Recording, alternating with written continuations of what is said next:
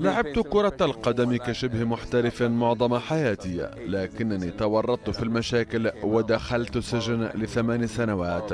لذا قلت لنفسي أنني سأقدم للمجتمع فريق كرة قدم للتكفير عن أخطائي في الماضي.